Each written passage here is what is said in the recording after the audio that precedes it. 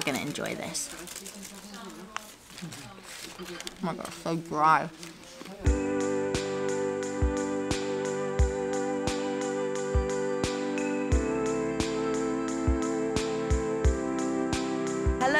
I'm at King's Cross St Pancras, about to begin another journey from London, this time taking me all the way to Sweden, and of course, all by train. So, over the next two weeks, we'll be taking a total of 10 trains and travelling through four different countries. Here's our route. Our first train is the Eurostar, which is taking us to Amsterdam this morning, where we'll spend the day and the night before continuing our journey tomorrow. We'll then take a few trains and pass through Germany for lunch on our way to the Danish capital of Copenhagen. We'll spend a couple of days there before taking a short train over the famous Öresund Bridge to Malmo in Sweden, where we'll spend another few days, then take a fast train all the way up to Stockholm, spend a few days exploring there, then take the new sleeper train all the way down to Hamburg in Germany take another train back to Amsterdam and the Eurostar home. So this trip is actually really special because I'm actually Swedish. My grandmother was Swedish, my father was actually born in Sweden, um, but I've never been. So this is my first trip where I'll be visiting friends and family and I get to do it all with my lovely mum.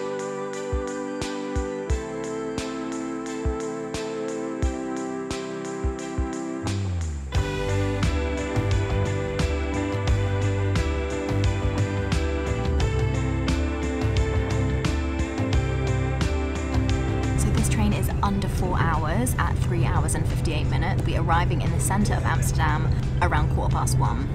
On the Eurostar website, it says that one flight makes up the same carbon emissions from seven trips by train. But when you include getting to and from the airport, it's more like 10. And I've spoken about this before, but I really want to emphasise that the individual carbon savings isn't the only or even main reason to choose to travel by train rather than plane, but more on that later. So we've arrived in Amsterdam now. We're going to get some lunch. I've booked us a table at a nice vegan restaurant, and then we're going to head to our friend's house. That was such a pleasant journey. We ended up having a whole table to ourselves. As you can see, I got lots of knitting done, and I was listening to this really great podcast by The Guardian um, about stalking. So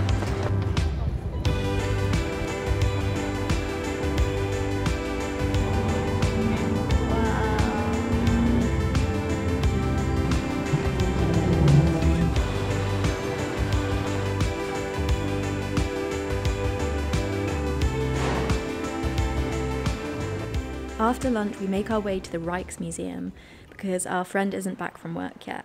And here you can see the Dutch masters, but I'd also recommend going to the first floor where you'll find works by the Impressionists, galleries devoted to women in art, as well as part of the story of Dutch colonialism in Suriname, told through art.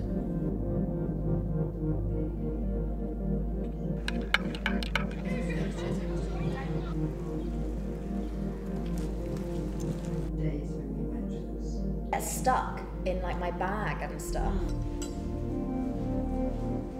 Good morning. Today is going to be the longest travel day on this trip because this evening we're going to end up in Copenhagen. We're going to pass through Germany and have lunch there either in the town of Osnabrück or um, Hamburg, which are the two places we stop at. And we're armed with lots of things to keep us busy knitting, podcasts, um, my mum's iPad with lots of TV shows and films downloaded, uh, books. So, yeah, we should have lots to do to keep us busy.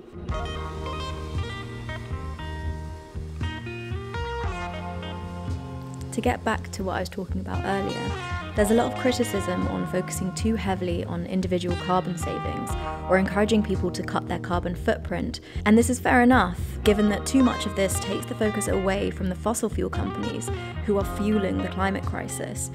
But the reality is, when it comes to aviation specifically, the only way to reduce emissions is to reduce demand. We don't have a green plane waiting in the wings, and it's one of the fastest growing sources of global carbon emissions.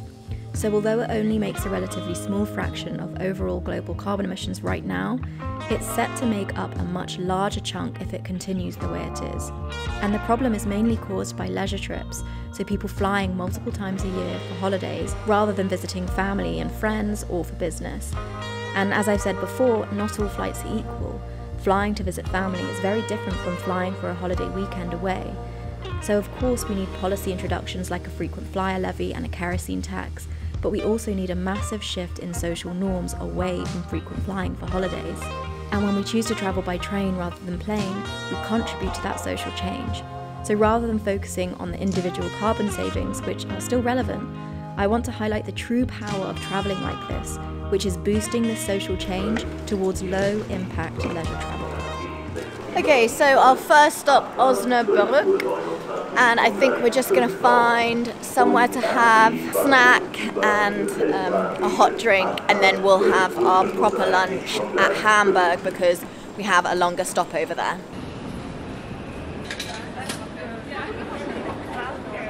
So we've got a couple of snacks and we're just sat in a cafe now. And I think I would do this a bit differently. So I I intentionally got the transfer, which had a longer stopover in Osnabrück. There was another train that left about five minutes ago, so it only would have been about a 15 minute stopover. And I feel like we should have got that one and then just had a longer chunk of time in Hamburg because an hour and 17 minutes really isn't long enough realistically to kind of explore Osnabrück, but excited to see what these are like. Is a lounge, what is it, lounge mit Salz. Hmm.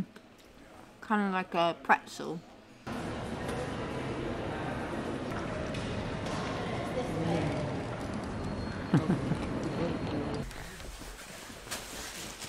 so, our train is delayed by 50 minutes. So it's kind of annoying because it means that we won't really get to explore any of the cities in Germany. If we had known about the delay, then we probably could have explored Osnabrück. Yeah, on the bright side, because there's such a long stopover in Hamburg, it means that there's no real risk of us missing our, third and final train to Copenhagen. So that's good. Just got gain that. So we're to enjoy this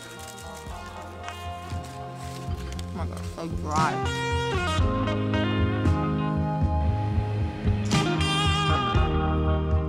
You're supposed to wear face masks on German trains, so that's why we've put these on.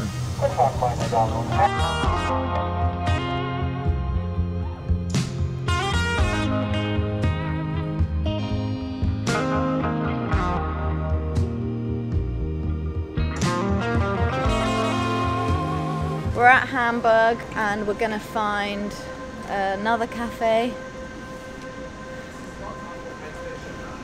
This is, this is, isn't this Hamburg? Ah! When I heard you. Oh my god. Yes. Thank you.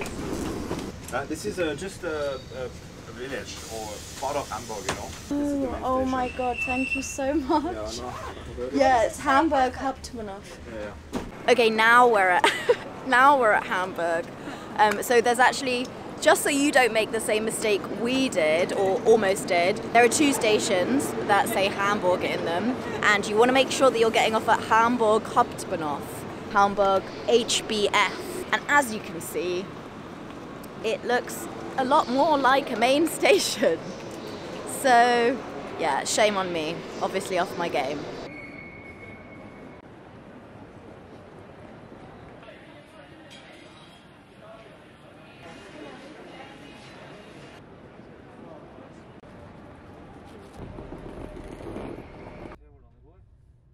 This is our third and final train of the day, and this journey will take about four and a half hours. So we'll arrive in Copenhagen at 9:30 p.m. and our hotel is five minutes from the station. So I think we'll just like go straight to bed. This train is very impressive so far. I haven't seen the toilets or the cafe yet, but I will show you in a bit. But the seats that we have are standard, but honestly, they're like first class seats, beyond first class seats that we would get in the UK. So very impressed so far. And the tables come with magazines. How nice.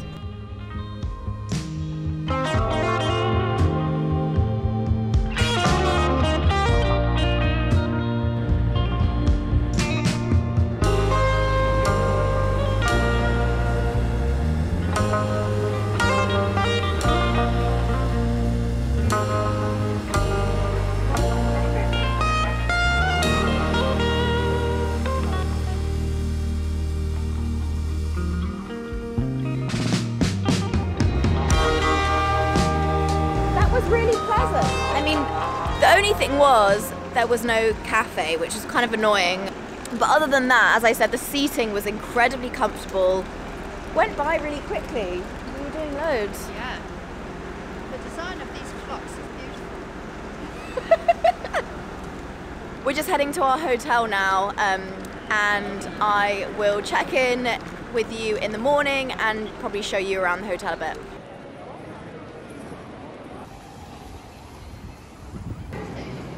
Yeah.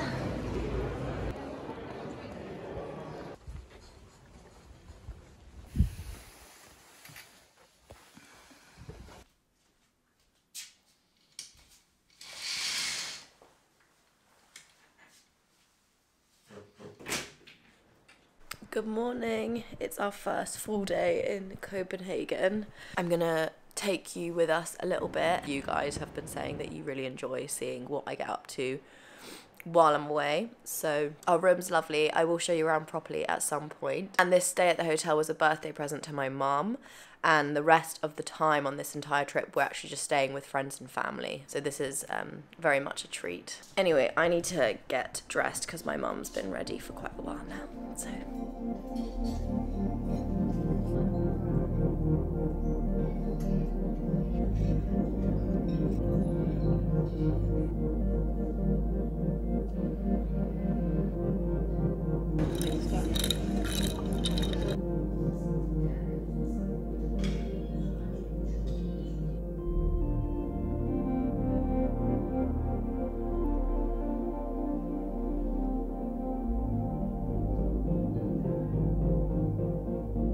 One of the things I think is really interesting about Copenhagen is its commitment to tackling the climate emergency. Cities like this, I think, really should be used as an example of how other cities can move to more low carbon forms of transport. Transport is a carbon bomb in cities. Domination of private cars in cities like London is a huge problem. It's bad for our health, it's bad for the climate. And there's so many things that we can do to move to a more low carbon transportation system. And obviously we're not going to get rid of cars completely. We need cars. They're incredibly useful for going about our daily lives. We just need to find ways to prioritize journeys that actually really do need a car and make um, other forms of transport accessible for people who who don't need their cars for certain journeys. 49% of people in Copenhagen commute to work and school by bike. And that's because there are so many cycle lanes. It's been made a lot safer to cycle here than in other cities like London, who are still you know, moving in the right direction. We've got so many more low traffic neighborhoods and and cycle lanes, but it's still so dominated by private cars. And all of this needs a combination in really good policy and a change in social norms. It's also apparently one of the happiest cities in the world. Is that true? How do you measure that? I don't know. Does that have anything to do with how climate friendly it is? Who knows? But it's pretty cool. And you can really feel it. I mean, I can feel it. I really love the city. You even have bridges like this one, multiple bridges like this one, which are dedicated entirely to people cycling and walking. And I, I think that's amazing. And we need more of this in London.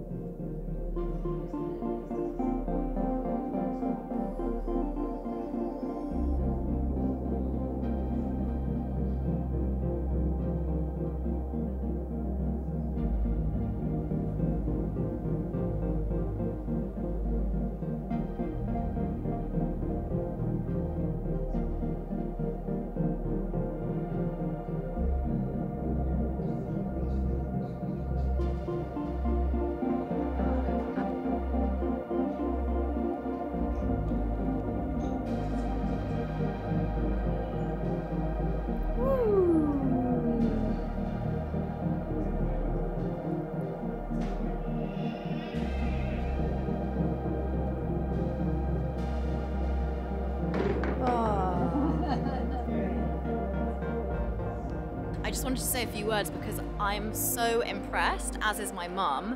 The sheer variety they have in there is astounding. They had they had pieces that were really philosophical, thought-provoking, and then pieces that were kind of um, looking into the future and um, also kind of looking at the history of design. It was just so. It was. I just. I just feel like I'm. I'm full of it. You know, in a good way. Like I feel filled up with design. So yeah, highly, highly recommend that. So good. Loved it. I'm so obsessed with the metro here.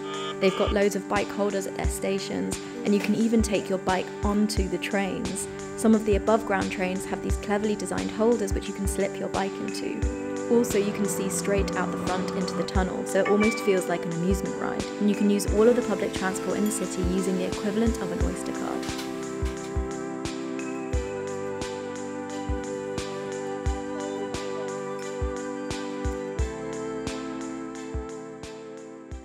So this is our room and I'm going to give you a little tour. There's so many amazing design details in here like the tall ceilings and the high windows as well as smaller details like this lamp and there's really nice lighting in here as well as a comfy bench here. And then there's a kind of separate room for the bathroom over here and it just seems like every detail is very well thought out like the tiling and the shower and all the things in the bathroom are refillable. And then there's a coffee machine here, some drawers here, a very shallow cupboard here. They even give you a steamer and they've left some nice books for us there. Yeah, I think that's pretty much it. It's our second day in Copenhagen, and we've come to see something that isn't your most traditional tourist attraction. Okay, we need to pause here and rewind because yesterday morning, before we went out into the centre of Copenhagen, we took a trip to see some very special architects. They're called Lendager, and they're carrying out some of the most pioneering work in sustainable building practices in the world. They specialize in reusing and upcycling waste materials for their designs. And to do this, they're not just architects, they actually became material scientists, so they could transform things like old beer containers into new building materials. And on top of this, they're also influencing public policy on construction in Denmark. Okay, now we can go back to this. We've come to Upcycle Studios, which is just outside the kind of city centre. So, this building is made from recycled concrete, repurposed double glazing windows, and discarded flooring boards. I thought that you guys would be especially interested in this because you know a lot of you are interested not just in trains but in kind of general climate action and sustainability and um, the way that we build our buildings is crucial to that they saved 45% of CO2 and turned a thousand tons of waste into building materials, and all with a product which, in my opinion, is beautiful. This is another one of their projects called the Resource Rows, where they used upcycled bricks and waste wood. They also used a recycled concrete beam, which they used as a bridge, and old windows and waste wood as rooftop community gardens.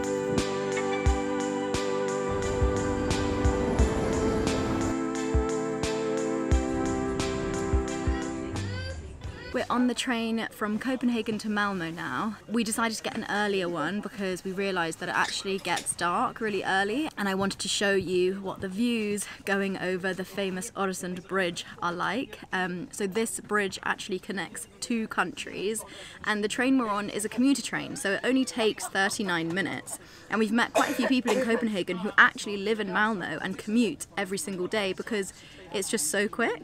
But then I realised I'd forgotten my microphone at the hotel, so I had to run back, um, and we're probably not going to be able to see it because it's already dark. So the other really cool thing is um, those cards that I showed you earlier for the metro is kind of like the equivalent to an Oyster card you can actually use for this train, which I find astounding that you can use the equivalent of an Oyster card to get you from one country to another in less than 40 minutes. I mean, yeah, very cool.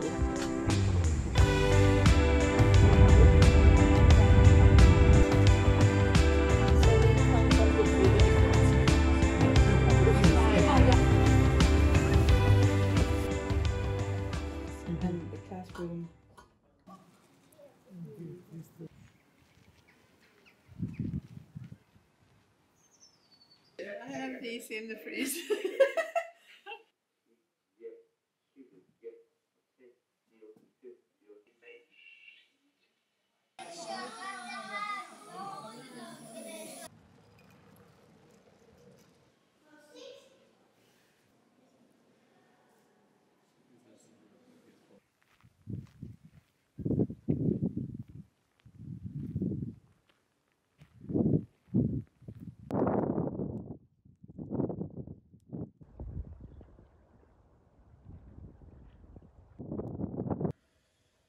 Hur är det med today we are going to do the one thing, one activity that I really wanted to do in Malmo, um, which is basically going to what they call the bath. So, as you can hear, the wind is a bit much here. So, basically, going to bathe or going to the sauna means swimming or rather dipping into the freezing cold water of the sea and then hopping into a sauna.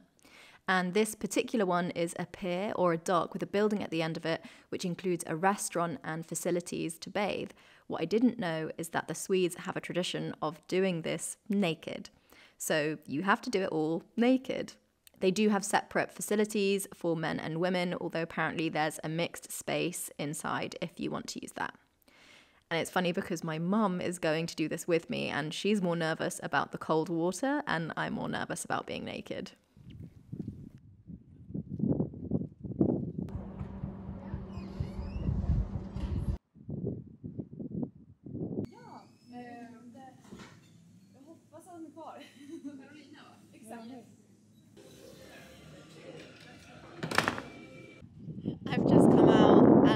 What I'm saying here is that I found it incredible, and that when you go in, you go through the cafe and then into the changing room. You have a shower, and we went straight into the sauna first. There's three saunas, all looking out to the sea, so you get this amazing view of the sea. There's one where you can chat freely, one silent one, and one mixed one with men and women. And after going into the sauna, we then walked out to the sea dipped in for literally a few seconds because it was freezing cold and then went back into the sauna and we did that a few times. But yeah, apart from being a bit self conscious, it was ultimately very liberating.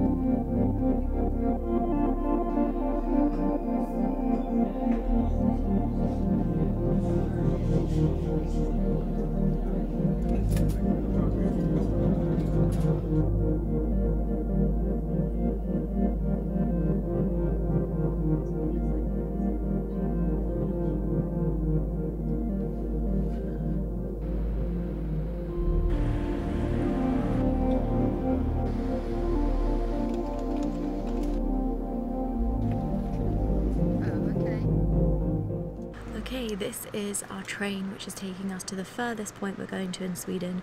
So it's Malmo to Stockholm. It takes four and a half hours and it's one of Sweden's fast trains, but comparatively to Europe's other fast trains, it's not that fast. A very beautiful train. It looks like an airstream on the outside, and I'll show you the cafe in a bit. This one definitely has a cafe because I saw it from the outside. Um,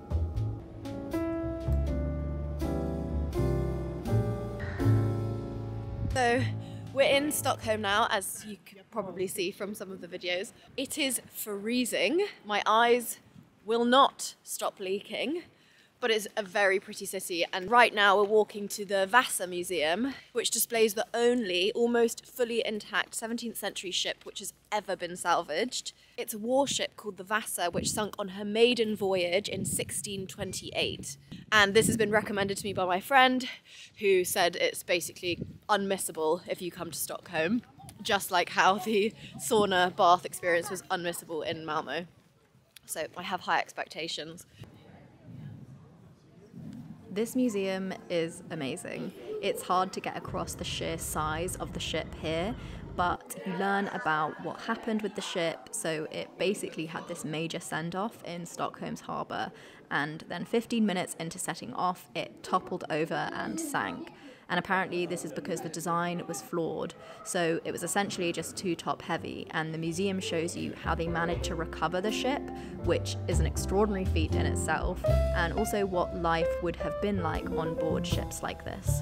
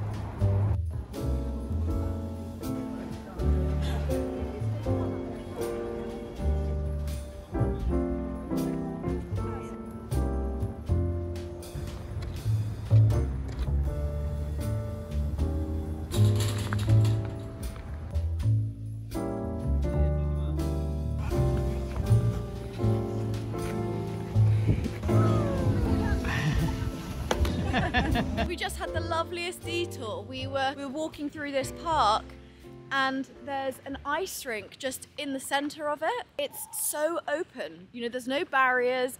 Anyone can just bring their skates and um, and go on the ice, which I think is so nice compared to so much nicer than it is in London. You can still hire skates, so I had a I had a quick little skate. It just sits in the city seamlessly and obviously makes so much sense because you don't need as much energy to to cool it. So yeah, lovely.